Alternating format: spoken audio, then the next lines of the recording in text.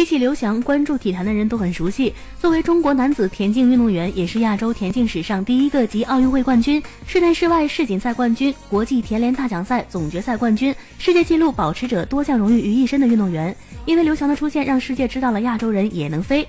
二零一五年六月二十五日，刘翔在自己微博上首度承认与妻子葛天离婚。从微博宣布闪婚到微博宣布闪离，刘翔葛天二百二十七天婚姻不到一年便分手，令人唏嘘。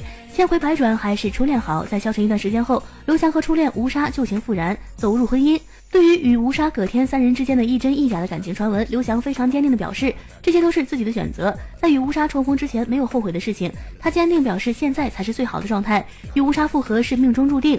刘翔表示，与吴莎再次重逢是最好的邂逅。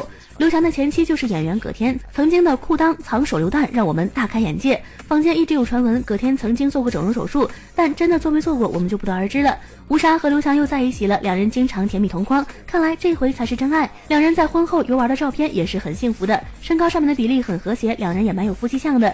看完刘翔现任妻子吴莎，再看看前妻葛天，网友表示差距太大了。